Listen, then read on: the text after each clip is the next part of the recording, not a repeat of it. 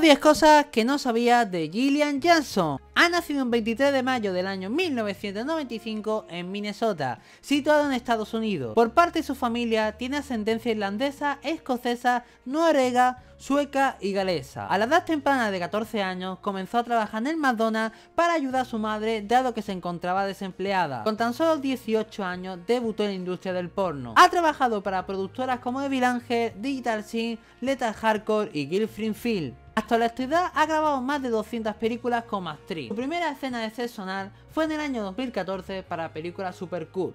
Ha ganado los siguientes premios. En el año 2015 a los premios Bot como la artista más joven y en el año 2016 como la mejor escena de pop de sexo. Empezó a tener relaciones sexuales a los 13 años y como curiosidad antes de abandonar el instituto se acostó con 40 chicos. Espero que haya gustado este pequeño vídeo, espero que de un like, espero que suscribáis y bueno señores justamente eh, me podéis comentar todas vuestras dudas en la caja de comentarios. Un saludo y hasta la próxima.